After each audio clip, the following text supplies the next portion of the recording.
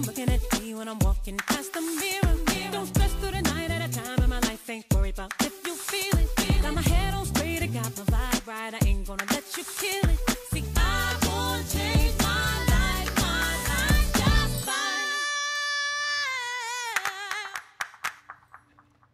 Hello and welcome to A Seat at the Table. I'm Monica Pearson. I'm Christine White, and today we're talking about the effects of war on black veterans. I'm Denene Millner. Black people have participated in every war in American history. And that's true. In fact, Crispus Attucks, a black man, was the first person killed in the Boston Massacre, the beginning of the Revolutionary War. One of the most polarizing wars in our history was Vietnam. Take a look at a clip from Ken Burns' documentary, The Vietnam War, as one veteran talks about adjusting to the realities of war. Soldiers adapt. You go over there with one mindset, you know, and then you adapt. You adapt to the atrocities of war. You adapt to killing, dying, you know. After a while, it doesn't bother you. I should say it doesn't bother you as much. Hmm. Oh, he talked about adapting, but do you really adapt? You just cope. That's what I think. I can't imagine that you would walk into that kind of situation and feel some kind of way, some kind of burden about having to do what you have to do in war. You know, I can barely say it, let alone think about what it must mean to actually do it. And then what happens when you've experienced that and you've witnessed the most heinous acts ever and done some of the most heinous things that you probably never thought you would do. And then you come home and everyone expects everything to be just as it was. Right. You know, and you don't get the, the support you need to support what you've just been through, the trauma that you've just been through. That's what happens to so many veterans across our country, unfortunately. And some of the most overlooked are the black veterans.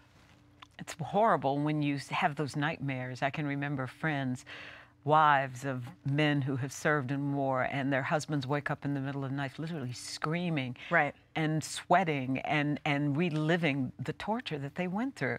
And you know, that was especially true in the Vietnam War because the Vietnam War took place during the height also of the civil rights movement. And men were being drafted by the thousands. Black men were being drafted. Muhammad Ali was drafted, but he refused to participate in the Vietnam War. My conscience won't let me go shoot my brother or some darker people or some poor, hungry people in the mud for big, powerful America and shoot them for what? They never called me They never lynched me. They never put no dogs on me. They never robbed me of my nationality raped and killed my mother and father. You know, this was really touched home for me because I grew up in Louisville, Kentucky, when Muhammad Ali was Cassius Clay, and saw him making the, the transition to Muslim. And so many people in Louisville were embarrassed mm. because they thought he was being unpatriotic. Right. Whereas the black community completely understood right. what he was saying and actually applauded him. They say, You aren't being unpatriotic, you're just saying, Give me a deferment. Right. And a lot of people got deferments, but in his case, that was not the case because he spoke the truth. He could have easily said, you know, uh, I have a problem uh, from boxing, but he stood up for the truth, and that was he could not support a war. But I can see why people would think that that was unpatriotic. I mean, if someone talks about my family, if someone talks about my home or or uh, threatens my home and my family, my community, I think that I would be ready to fight. And so I think that that's the way a lot of Americans feel. If someone threatens your home, then you should be prepared to fight, but right? then what if you're not at home, at home? Right. What if your home, I mean, you got to think about the times when he was saying this. Mm-hmm. We were mm-hmm. in the middle of the civil rights movement, cities were burning, we were still drinking out of separate water fountains, still doing foolishness like mm-hmm. sitting in the back of the bus, even mm-hmm. though it may have changed by then. But I, you know, it's hard to fight for, and I and I would have been the one sitting there with my fist in the air, you know, listening to him say this. How can you fix your mouth to ask me to go and put my life on the line for a country that won't even let me drink out of the same water fountain as the person that I'm supposed to be going to defend. I'm not doing that. But and I also think because of the kind of war that it was, you know, he talked. If it were World War II, where uh, the nation had actually been attacked, Right. the Vietnamese had not come here and attacked us. We were basically going there to free people, to put the Viet Cong out of business. And I could understand why he felt that way because it wasn't a war that had been brought to our front door. Right. And many young white men, well educated young white men, were being exempted, were mm-hmm. not being drafted. And you just saw black man after black man after black man going to war and then coming back home just debilitated. So then going to war for what? It sounds like it was a war for monetary gain. I mean, as a lot of our policies are, and a lot of politics is sort of mixed up in someone's mon- monetary interest in an area. Is that really what the war was about? I've never understood, to be very honest with you, what the Vietnam War was about. Yeah. I've even asked, what was it really about? Well, I can see then. We lost it. Yeah. I mean, the bottom line is we lost it. But really, why were we there in the first place? And I guess what hurts me is that so many young black men we lost mentally, physically, and spiritually because of that war. I'll tell you, I'm finishing up a book, a memoir, with a woman who was one of the first women to be accepted into a combat role in the Marines. Her name is T. Marie Hannibal. And um, she decided to go to, to war to Desert Storm. Or was it Desert Storm? It wasn't Desert Storm. It was the one that came after 9 11. Iraqi. Right. Iraqi freedom. Right, Iraqi Right. freedom. And she went there because she was moved by what happened. She hmm. decided to go to Iraq because she was moved by what happened and she wanted to support her country. And I have to say that when 9 11 happened, I lived in New Jersey, I Right. worked in New York, and I was like, yeah, that's right, let's go get them. You don't go and knock down our country, you mm-hmm. don't go and kill our people Right. because of whatever is going on in your head. But then after the emotion went away and we started pulling back the layers of what actually was going on um, in terms of the, the, the companies going over and getting these contracts Right, and oil and all of that. oil and all of that stuff. And I was like, uh, keep your head. I'm not for war. Right. Right. I am not for beating folks. I am not for, um, you know, killing people without getting to the meat of the matter and Right. figuring out how we can resolve this without going into somebody's home and taking their children and, And their killing wives and innocent people. It begs the question, though, if we can't figure out how to have equal treatment here in America, even during the '60s, even now, um, how? And we can't we can't figure it out. We don't understand why there's such institutional injustice across America.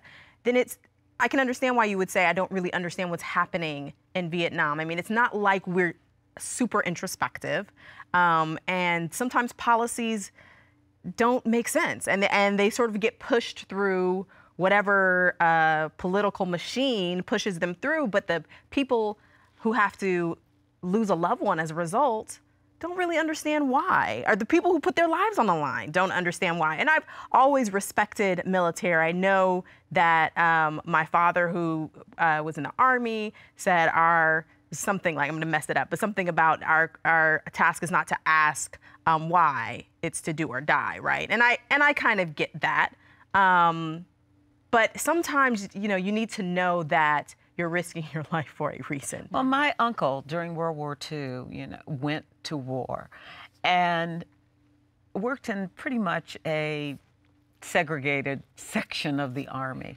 It shouldn't have been in World War II, but they pretty much had in infantry, black people were in the front. Right. And he came back from the war with post traumatic stress syndrome. Right. Um, he- and the government actually gave him a lobotomy because he would ha- well during that time period you got to remember that people didn't know what to do so you remove that portion of the brain you think that's causing the problem mm. but his life was ruined forever Right. he never was able to marry, never able to have children. Be- and he went to war because he felt he needed to defend our country, possibly from an invasion of the Japanese because the Japanese had already invaded Pearl Harbor. Mm. So he felt we could be next. So he went for a good reason. But it cost him his life. And then I think about my friends who went to Vietnam. I had one young man who was killed in Vietnam. And then I have another who, who died in a different way because he came back as a drug addict and he mm-hmm. could never stop seeing the horror of that war. And this was a young man, well educated, drafted, couldn't get out of it even though he should have been able to because he was in college. And he was never the same. A life lost. Sad. So sad. Well, with racial tensions so high, why would any black man, or woman for that matter, want to enlist? We'll talk to a veteran about it when we come back. Now, They sent our men off to Vietnam to fight for this so-called democracy. But when they get back down to the South Bronx and to Bed-Stuy and Harlem and Watts, etc., etc., is worse than ever.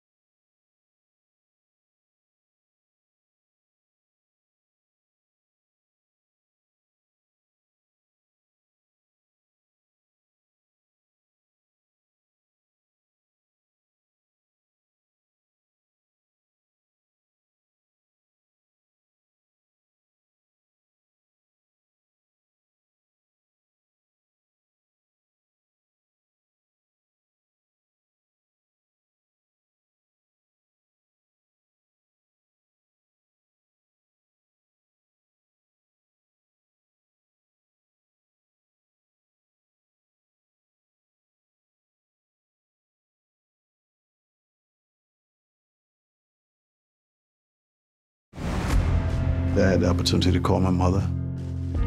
And I said, um, you'll probably never see me again because everybody in my unit's dying. I probably won't be coming back. And my mother said, no, you're coming back. She said, I talk to God every day, and you're special. And I said, Ma, everybody's mother thinks that they're special. You know, I'm putting pieces of special people in bags. That didn't grab you, nothing will. But that is the reality of war. We now welcome Al Vivian to the table. He is a veteran, diversity expert, and a member of the public media family as a board member of our sister station, WPBA. Al, thank you so much for being here with us. Tell us a little, tell me a little bit about your uh, military background. So I, um, I grew up in a household where I was taught you must contribute back to society one way or the other. So while in college, Morehouse College, Atlanta, Georgia, I joined the Army ROTC program, graduated as a second lieutenant, uh, served eight years, and uh, it was the greatest thing I ever did. One of the greatest things I've ever done. Uh, really enjoyed the military. I can't think of any other place where straight out of college, you walk into a new job, you get handed keys to a building, a staff of people, people salute you and call you sir. That's just, you don't get that anywhere else. And so that's one of the things that attracts people to say, hey, here's a place where I can go, I can contribute, I can learn, and I can also make sure that I'm going to get paid the same thing as that white male who has the same job with the same rank as me, who has the same number of years of service.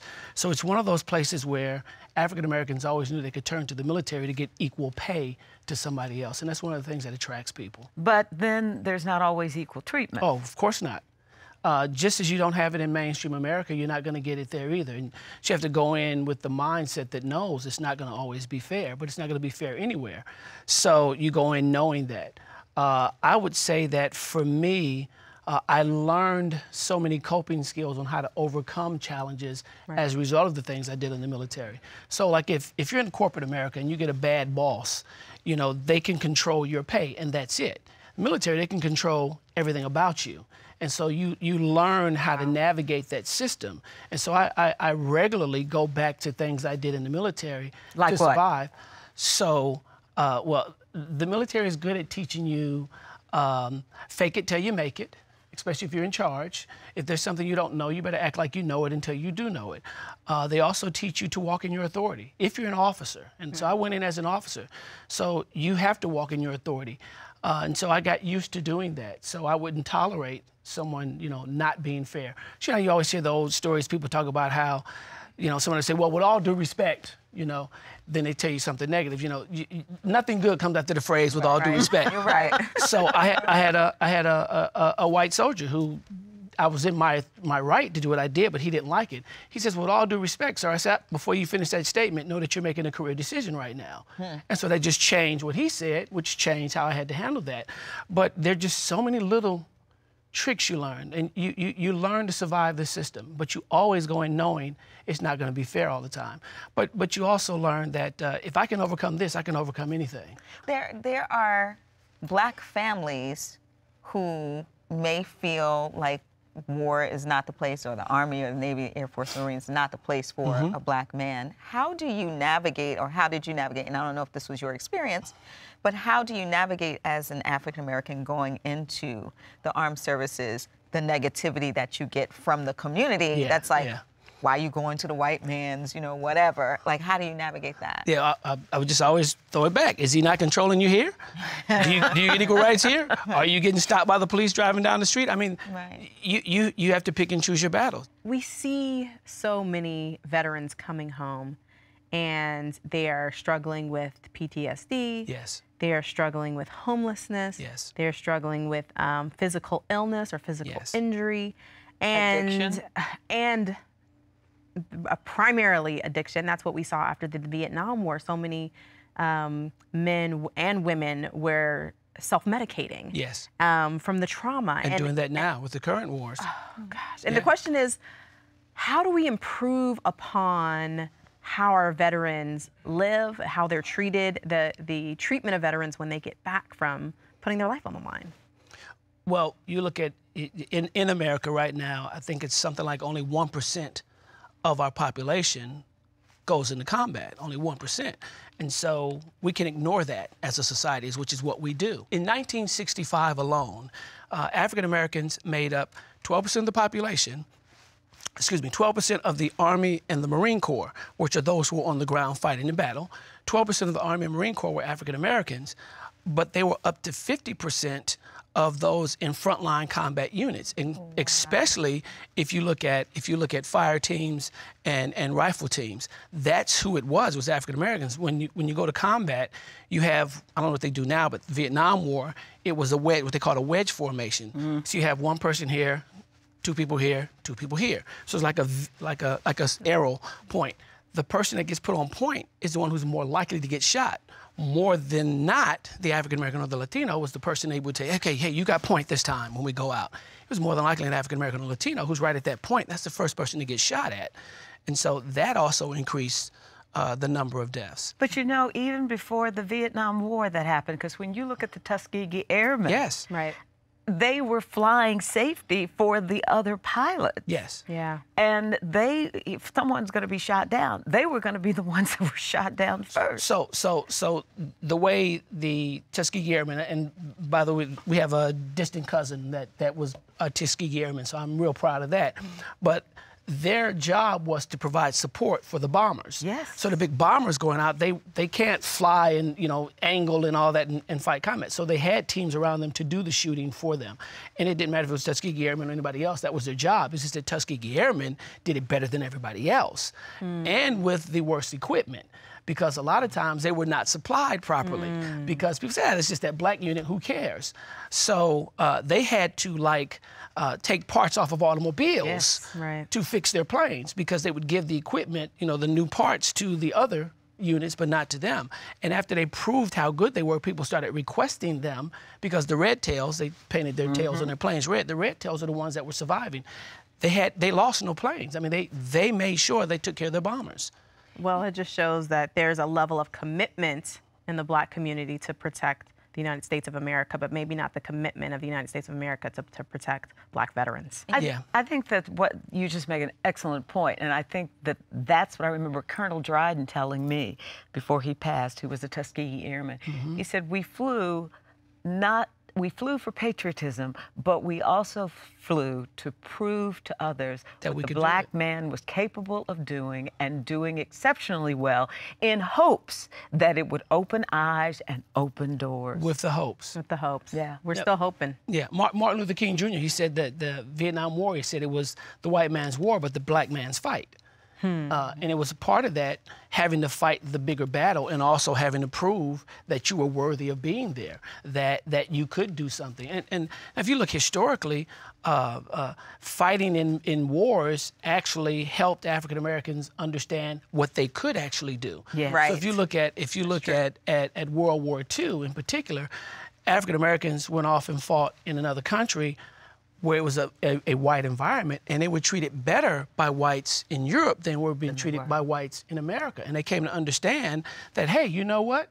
That's not how all people are who are white. Right. And they also were in leadership positions where they proved their abilities. So they came back after fighting for their country and for the rights. They came back and said, you know what, I, I, I don't think I'm going to take this anymore. Right. She looked like a Medgar Evers, who was in charge of the NAACP in, in Mississippi.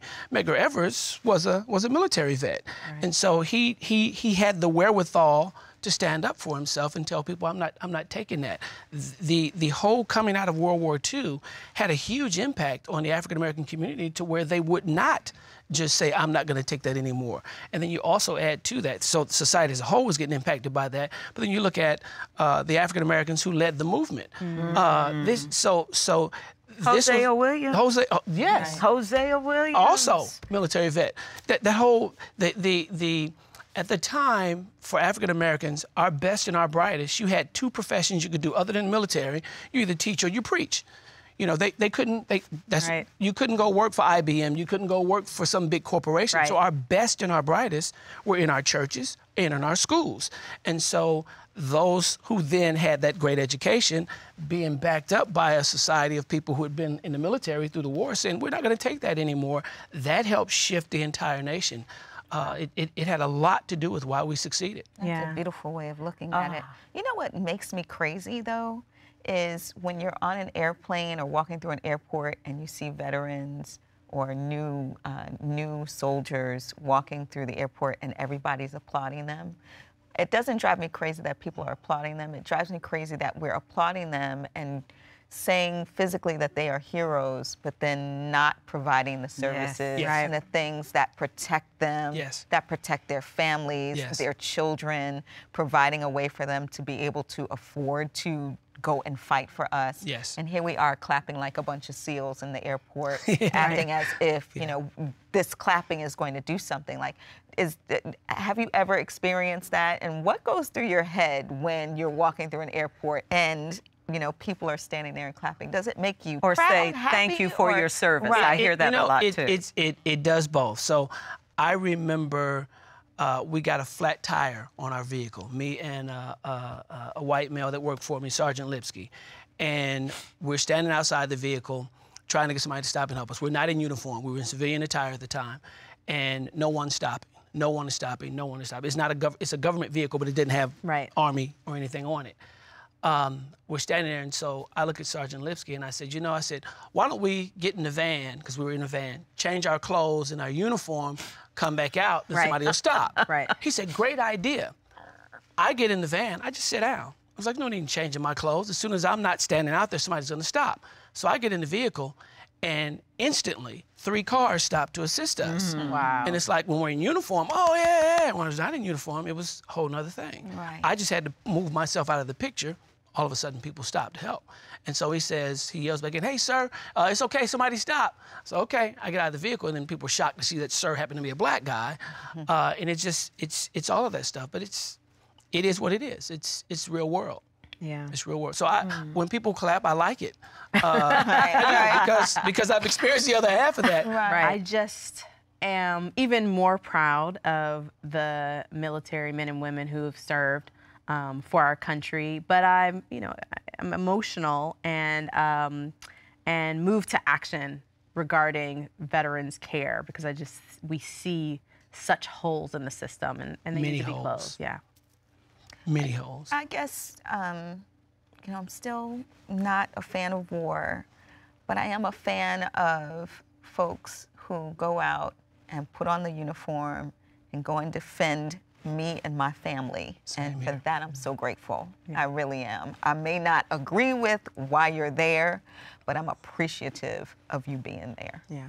They And don't, they feel don't the agree same with why way. they're there. I, I just look at the people who serve in the military and I just say thank you for doing something I could never do. Absolutely. I could not make that sacrifice uh, of my family, of my finances, of everything that it entails. But I say thank you to them because again, I could not do it. And you know, my country, right or wrong, I know we're still growing, but I also know it's because of from Crispus Attucks Yes. all the way to now, Yeah. the sacrifices made by black people have helped to make this country what it is. Yes, Absolutely. Yes. Absolutely. Unfortunately, we are out of time, but the conversation doesn't have to end here. Share your thoughts with us on social media. We're on Twitter, Facebook, Snapchat, Instagram, and Pinterest at ASATT TV. Thanks for joining us at a seat at the table. And in the words of Shirley Chisholm, if they don't give you a seat at the table, Bring a folding chair. That's right. Get on in there. Yeah, good. yeah, yeah. there, so we need to have you back there. for another show. Yes. Yeah. Yeah, particularly for your uh, the work you do with diversity. All right. I look forward And to how it. you that'd make be folks good. really uncomfortable. Yes, absolutely. But it works. Yeah. It works. Yeah, I, I look forward to that. How does the, the military training, how does that have um, prepared you for what you do now? Like, what was the segue? Was it Oh, connection? So my last assignment, I had a boss who was the biggest bigot I could ever fathom. And, and, and he thought he was a good guy. He didn't see himself that way. Uh, he was a racist. He was a sexist. He was a homophobe. He was, uh, you name it. He was a bully. He was.